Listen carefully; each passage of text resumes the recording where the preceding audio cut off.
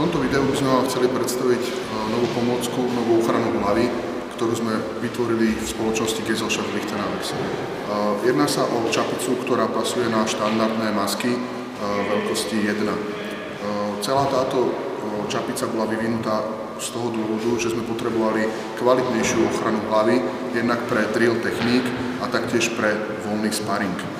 Z toho dôvodu sme vytvorili čapicu, ktorá je e, z ďaleko tvrdšieho materiálu, ako sú bežné, e, bežné čapice ponúkané na internete.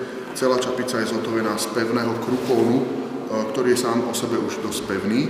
Napriek tomu je ešte vo všetkých častiach výrazne polstrovaný a počitý druhou vrstvou jemnejšej kože. Ďalšou inováciou na tejto ochrane je predný štítok, ktorý kryje rizikovú časť to znamená krk, najmä pred bodmi, ale aj nad častými sekmi.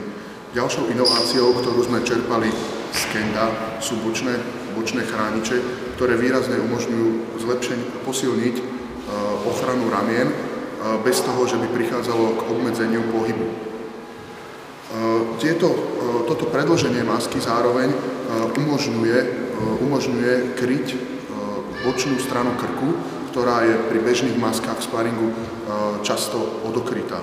Taktiež je štandardnou súčasťou zadná časť, ktorá e, kryje temeno, respektíve krk a je e, ešte pre väčšiu bezpečnosť a pre lepšie držanie masky na hlave posilnená ďalším držadlom.